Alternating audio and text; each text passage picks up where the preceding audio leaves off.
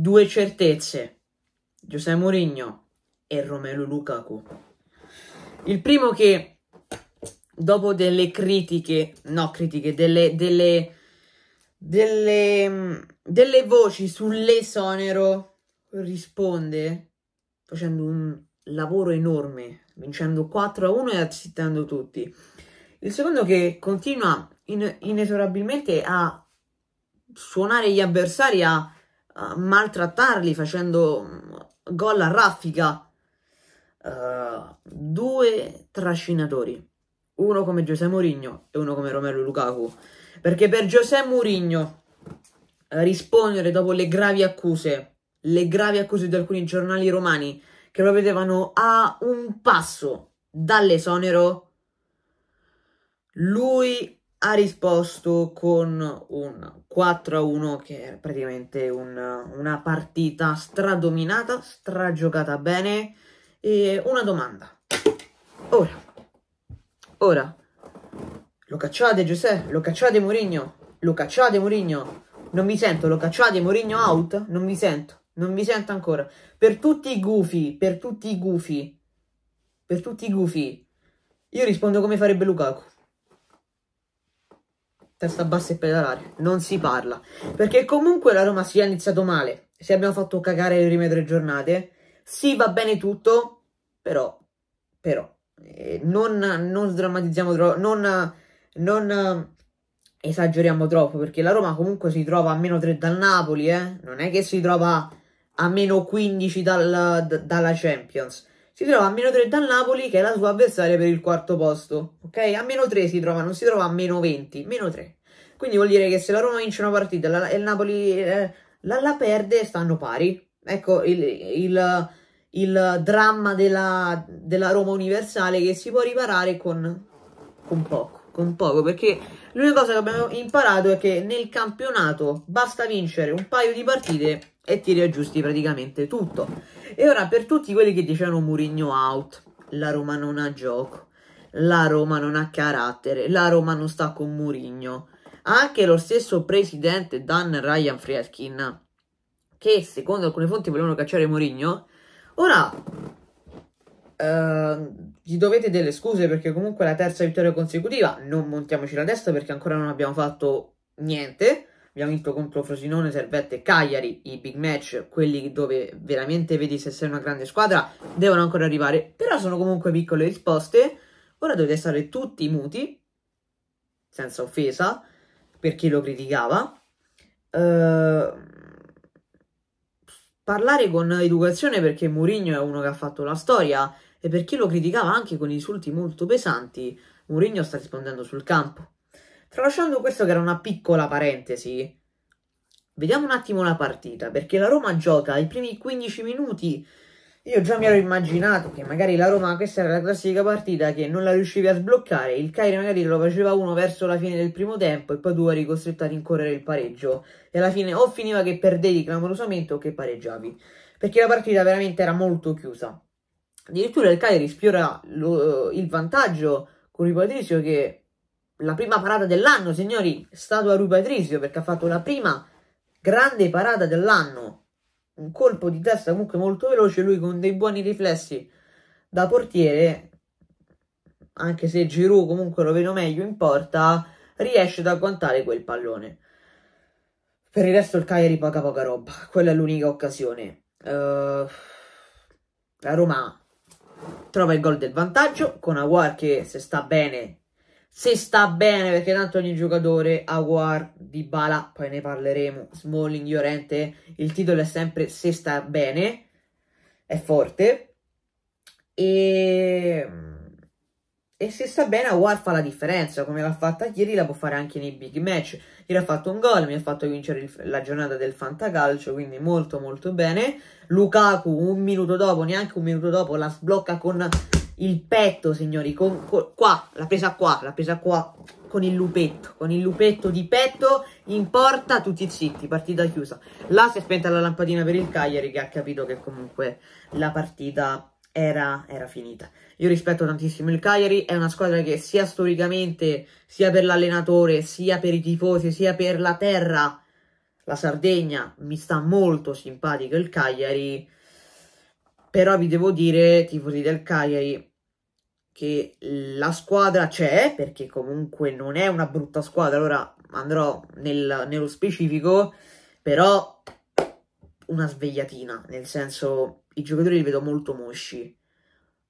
Ora ne andrò a parlare più nel dettaglio. Parliamo prima della Roma. Lukaku quindi che è fuori forma, ragazzi, per tutti qua ritorniamo ai gufi, ai rosiconi. Un mese fa, Lukaku fuori forma. Io credo che il 99% degli italiani medi dovrebbe essere fuori forma come Lukaku. E se fuori forma vuol dire questo, tutti noi credo vorremmo essere fuori forma come Lukaku.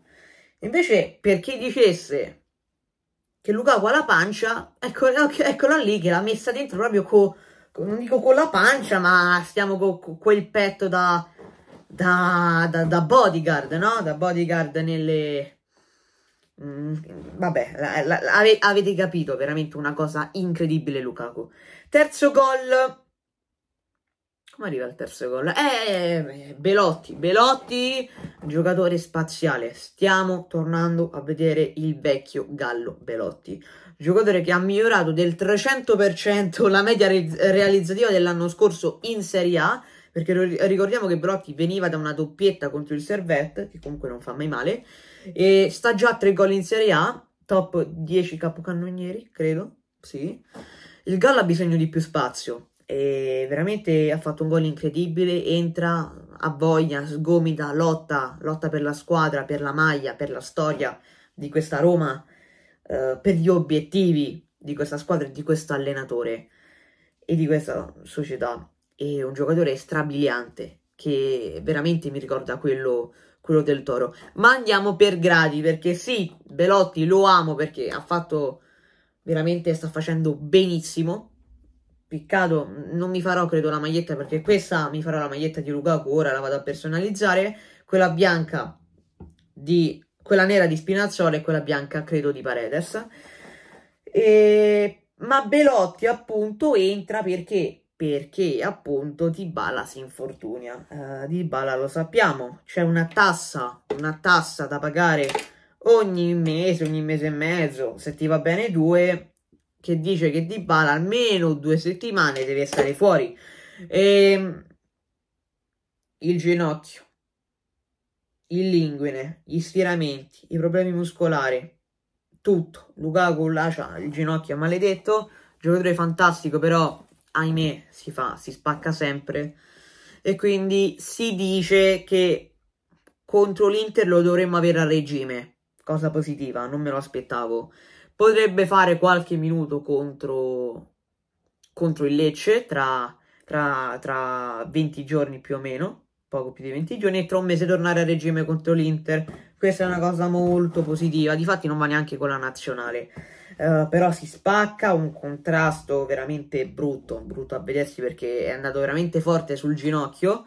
Altra cosa, piccola parentesi, non mi è piaciuto per niente l'arbitro, nel senso, non solo dalla parte nostra, era perché comunque l'arbitro veramente ha gestito, non ha fatto errori individuali grossi, però ha gestito male la gara. Al Cagliari, ora non è che lo dico, cioè, eh, io anche quando vinco comunque devo analizzare la gara. La gara è che la Roma ha dominato, ma l'arbitro, per esempio, ha gestito male la gara perché al Cagliari a mani basse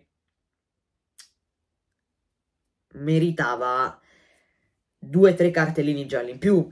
E perché Ranieri il primo tempo ha fatto un cambio? Ha cambiato, mi pare, il uh, centrocampista con la pelle scura ora non mi ricordo bene il nome, mi è sfuggito, non è Macumbu, non è... No, no, mi sfugge il nome, però l'ha cambiato un centrocampista perché appunto ha fatto 3-4 falli da giallo, ma giallo nel senso ha fatto falli tattici. E l'arbitro l'ha graziato praticamente, anche lo stesso Nathan Nandez. Uh, alcune, alcune cose non le ha gestite bene. Al Cagliari, per esempio, neanche gli aveva dato rigore, per esempio, sulla mano di Cristante, ha annullato un gol per fuorigioco che non c'era, alla fine poi gliel'hanno riconvalidata alla Roma e quindi non ha fatto bene. Se non ci fosse stato il VAR eh, sarebbe stata una partita disastrosa. A parte questo, Uh, la Roma quindi benissimo, il quarto gol arriva con Lukaku che stoppa, finta, controlla e calcia. Ragazzi, vi rendete conto che Lukaku ha la media realizzativa di un gol a partita, è qualcosa di strabiliante. 5 partite in Serie A, ovviamente 5 gol, perché anche in Europa League ha fatto 2 gol fino ad ora. E, ehm, è strabiliante, qualcosa veramente di strabiliante. Se continua così può fare anche 25, 25 reti, barra 30, 30 gol, tornare veramente Lukaku Prime perché l'ho visto veramente bene. E io credo che sta verso il 70-80% di forma fisica l'ha raggiunta. Mm, credo che ora raggiungerà il massimo tra poco e non vedo l'ora di vedere il suo massimo. Andiamo a dare due opinioni, opinioni però sul Cagliari. La prima è che Ranieri non me lo toccate. Ranieri non, non, lo toccate al Cagliari, non lo toccate al Cagliari perché se il Cagliari sta in Serie A è solo grazie a una persona, Ranieri. Claudio Ranieri, che il Palmares parla per lui, sta allenando il Cagliari, non mi toccate Ranieri perché senza Ranieri il Cagliari non lotterebbe neanche per, per non farebbe un punto da qui all'ultima di campionato, perché Ranieri è la vera forza del Cagliari, primo. Secondo, il Cagliari i giocatori ce l'ha, sto giusto puntualizzando, poi torno sulla Roma, era una parentesi. Il Cagliari i giocatori ce l'ha, ce l'ha, perché vi faccio un esempio, degli esempi. Il Cagliari ha dei giocatori di assoluta categoria che giocherebbero titolari in altre 5-6 squadre di Serie A di media classifica. Vi faccio solo alcuni esempi. Nathan Nandez giocherebbe a mani basse titolare in 10 squadre di Serie A. Zappa, idem. Pavoletti c'ha esperienza, è un giocatore di categoria, Petagna giocava al Monza, è di categoria. Uh, chi abbiamo? Lo stesso, lo stesso Azzi. Azzi è buono. Il Cagliari comunque ha anche Augello che faceva il titolare a una Sandoria che potrebbe, potrebbe giocare tranquillamente in altre 4-5 squadre. Ha Luvumbo che è il migliore in questo momento, ha segnato due gol. In questa forma fisica farebbe il titolare in 7-8 squadre a Dossena che farebbe il titolare in 4-5 squadre di Serie A. Insomma, l'organico ce l'ha. Deve solo abituarsi alla categoria. Secondo me il Cagliari si potrà salvare a tutte le carte in regola per farlo. Certo, se la dovrà sudare fino all'ultimo, eh. Io ve lo dico. Però, secondo me, io un Cagliari salvo me lo giocherei, ecco. Secondo me si può salvare. Amici del Cagliari, ancora c'è tempo. Tifo per voi. Dovete incominciare a fare punti perché comunque stiamo entrando in una fase avanzata del campionato però non è ancora una situazione disperata. Esonero di, di Ranieri? No, no, la stessa cosa di Mourinho, no, no e no, no, non commettete questo errore. Ranieri è uno degli allenatori più vincenti che è stato sul sulla panchina del Cagliari. Mourinho è l'allenatore più vincente che è stato sulla panchina della Roma. La Roma, questa partita, è venuta forte, forte a Cagliari, doveva fare i punti, 4, 3, 4, 5 a 0, 6 a 0, doveva fare i punti, gol, punti, perché la squadra ha dimostrato di stare con Giuseppe Mourinho e davanti si è trovata il malcapitato Cagliari. Poteva essere il Cagliari e altre squadre di Serie A, altre 16 squadre di Serie A. La Roma questa, partita per necessità, per necessità la doveva e l'avrebbe vinta. La doveva vincere e l'avrebbe vinta perché l'ho visto una Roma affamata Andiamo nelle individualità. Uh, perché? Perché, per esempio, Borre Patrizio voto 6. Uh, ehm, possiamo anche dire che la difesa ha fatto un buon lavoro, Indica mi è piaciuto, buoni segnali, Mancini mi è piaciuto, Cristante adattato mi è piaciuto, Spinazzola ha coperto bene, Castrop ha fatto il suo primo assist, mamma mia, apriti cielo, Kastrop ha fatto assist, I, gli altri si sono allineati. La Terra ha cambiato rotazione e modo di rivoluzione e Kastrop ha fatto assist, avvenimento del secolo. Va bene, quindi gli do un 6,5 come voto. Paredes un cane, un mastino, fa un gol senza, senza che, che, stiamo giocando, gli entra a forbice su Nandez, c'ha una fame Paredes di metterci in mostra, giocatore strabiliante un po' macchinoso magari a volte, ma è forte, è un mastino. Bene, Aguar benissimo, fa la differenza.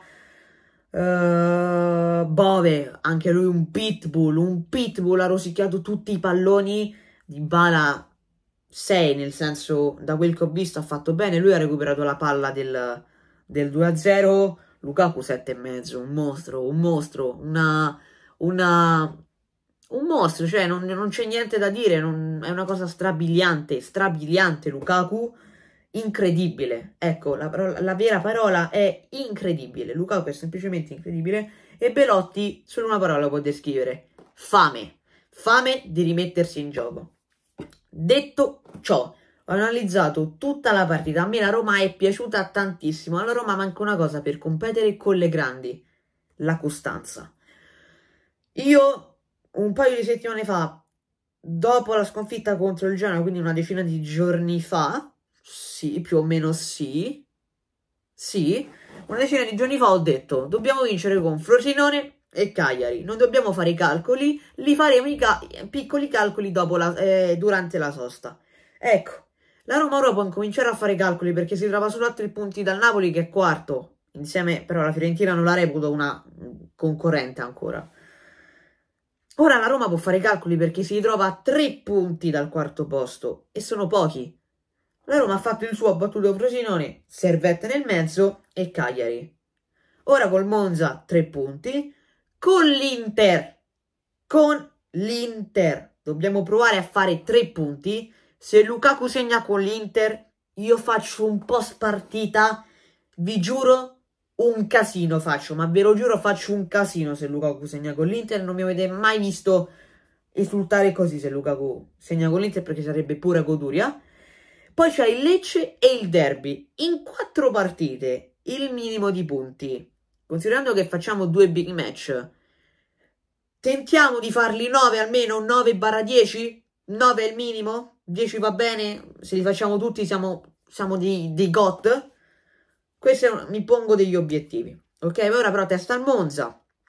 Eh, ci, so, ci sono le nazionali, alcuni giocatori si riposeranno, altri no.